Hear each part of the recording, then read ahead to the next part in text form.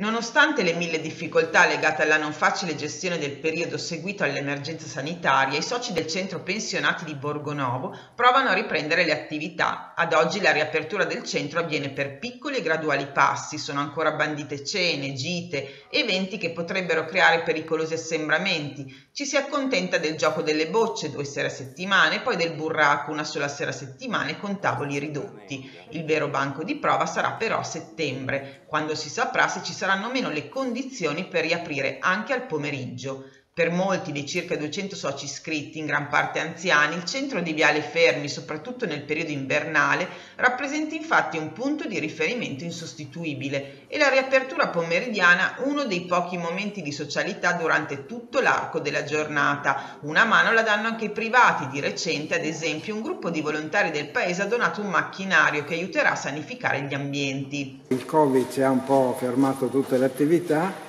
abbiamo chiuso per qualche mese le adesioni si sono un po' fermate e abbiamo pian piano riaperto primo il gioco delle bocce, eh, distanziati, mascherine, abbiamo fornito tutti i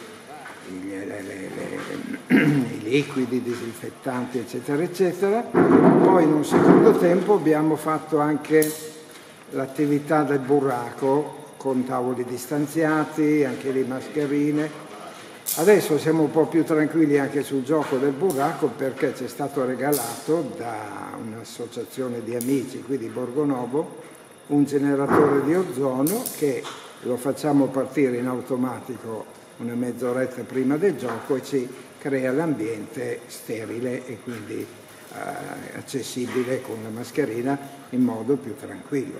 Adesso speriamo settembre, vediamo come vanno questi contagi, però per quello che sento non stanno andando bene, pensavamo di riaprire ancora tutti i pomeriggi il centro. Stiamo insomma valutando queste cose. Nel frattempo abbiamo progettato di sistemare un po' il tetto, insomma ne approfittiamo per fare un po' di lavoro e di manutenzione. Speriamo finisca sto Covid.